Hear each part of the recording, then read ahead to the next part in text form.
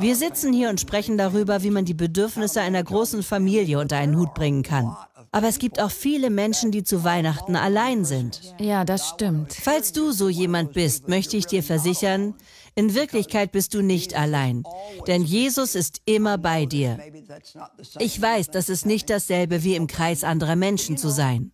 Aber wenn du allein bist, kannst du vielleicht die Initiative ergreifen und andere finden, die ebenfalls allein sind. Lade andere ein, statt auf eine Einladung zu warten. Du kannst auch beispielsweise in einem Obdachlosenheim helfen. Du kannst dich mit Menschen umgeben, auch wenn du selbst keine Familie hast. Ja, das ist wichtig und ermutigend, denn es gibt so viele Menschen, für die dies eine sehr schwere Zeit ist. Ganz genau. Es gibt viele Menschen, die zu dieser Jahreszeit an Selbstmord denken. Auch wenn man krank ist, kann diese Zeit äußerst schwer sein. Für viele Menschen ist es eine freudige Zeit, aber es kann auch eine traurige sein.